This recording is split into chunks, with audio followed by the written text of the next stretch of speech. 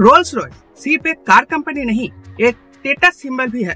World में longest car manufacturing कंपनियों में से एक है रोल्स रॉयस इस कंपनी की शुरुआत हुई थी साल 1904 में और साल 1904 से अब तक, यानी कि साल 2020 तक, इस कंपनी ने पूरे 116 साल कंप्लीट कर लिया है। तो इससे आप लोग भी ये समझ पा रहे होंगे कि ये कंपनी कितना पॉपुलर और पुराना है। वैसे इस कंपनी की शुरुआत की थी हेनरी रॉयस और चार्ल्स रोल्स ने, और इन्हीं के नाम पर इस कंपनी की नाम है रोल्स रॉयस। तो आज की इस वीडियो में मैं और आप इतनी पुरानी और popular British car company Rolls Royce के 22 ऐसे माइंड ब्लोइंग फैक्ट्स के बारे में जानने वाले हैं, जो शायद आपको नहीं पता। So let's begin the intro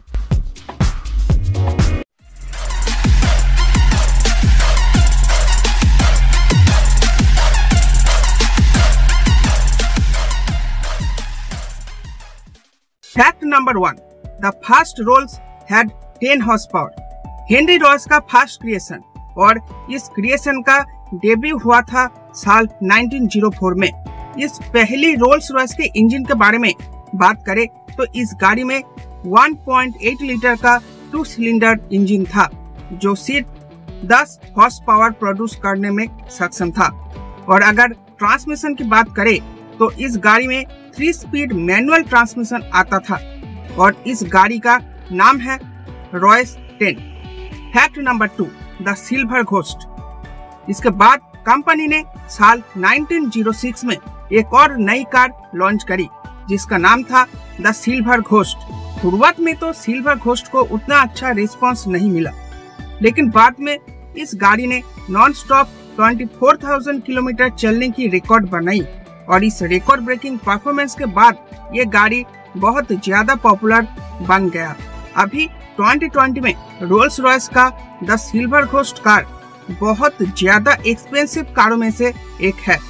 इस कार का फ़िलहाल कीमत है 57,000 यूएस डॉलर जिसको इंडियन करेंसी में कन्वर्ट करे तो मेरी तरह आपके भी होश उड़ जाएँगे सुनकर। तो इंडियन करेंसी में बनता है पूरे 432 करोड़ पचानवे लाख चौवन हज़ार और सात सौ रूपए। क्यों? सुनकर होश उड़ गया ना?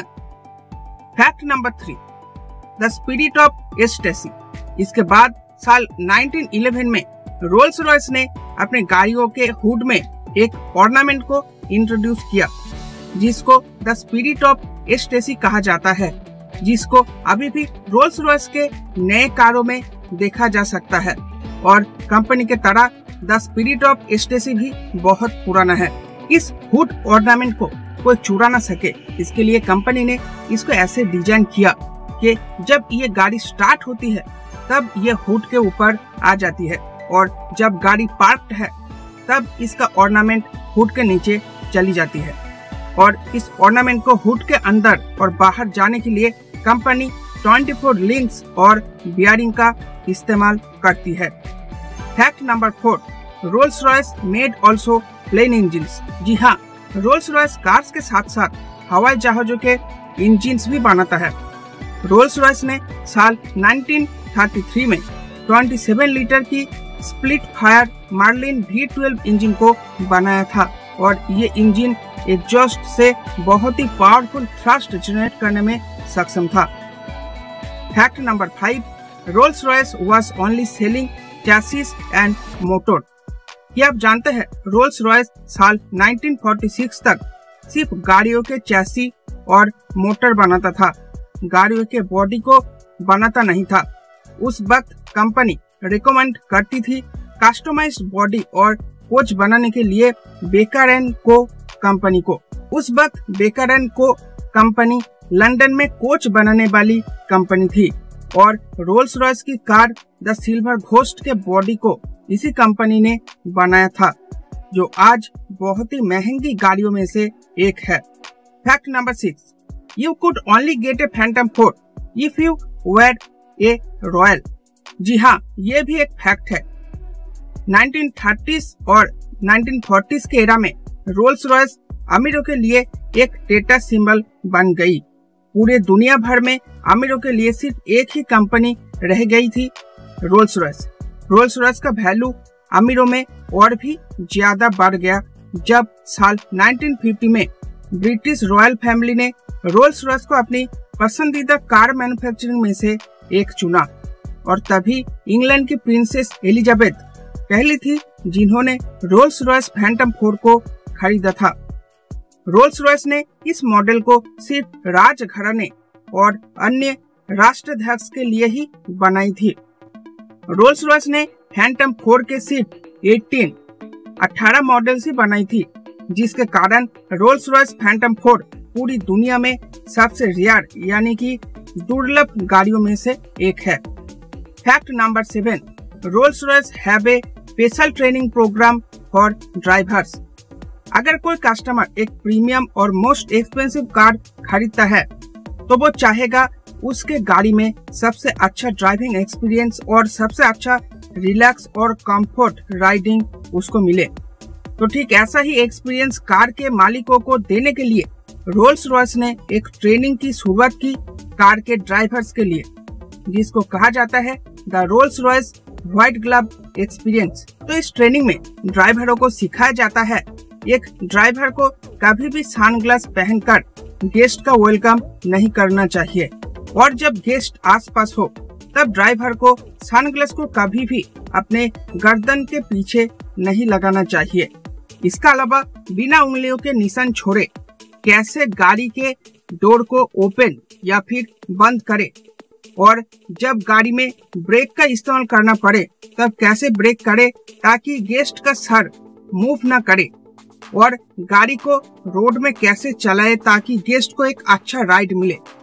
तो रोल्स रॉयस के ट्रेनिंग में ड्राइवरों को यही सब कुछ सिखाया जाता है। Fact number eight only bulls are use for Rolls Royce leather interiors जी हाँ दोस्तों, ये भी एक फैक्ट है।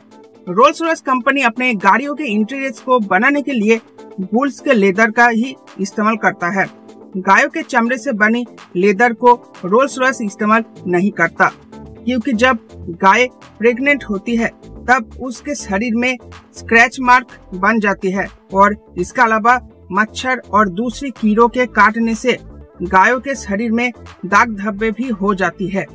इसीलिए रोल्स रॉयस कंपनी अपने गाड़ियों के इंटीरियर को बनाने के लिए गायों के चमड़े का इस्तेमाल नहीं करता, लेकिन इंटीरियर्स को बनाने के लिए सिर्फ़ यूरोप से ही बुल्स के लेदर को मंगवाया जाता है, क्योंकि यूरोप में ठंडी मौसम के कारण हायर ऑल्टीट्यूड्स पर मच्छर और दूसरे कीड़ों का जन्म नहीं होता और कीड़ों के काटने का निशान भी बुल्स पर नहीं होता।